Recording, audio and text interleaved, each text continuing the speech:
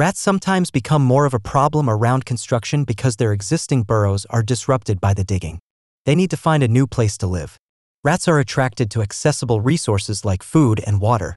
They may also be drawn to a home's porch, deck, or shed because it's the path of least resistance to food, water, and shelter.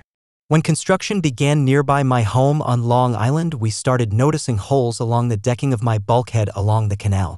My friends saw many rats going in and coming out. The first thing I did was call the exterminator. As time went on, I noticed more and more holes and even larger ones near the end of the decking, which was near my neighbor's decks. You may not have holes in your backyard ground, but the rats know how to go from yard to yard with just one entrance. I was shocked when I learned how bad and expensive a rat problem can be. I was shocked after learning their life cycle. Rats begin breeding as soon as 5 weeks of age and continue until about age 2. Females are fertile approximately every 3 weeks, and during this time they have been known to mate up to 500 times in 6 hours.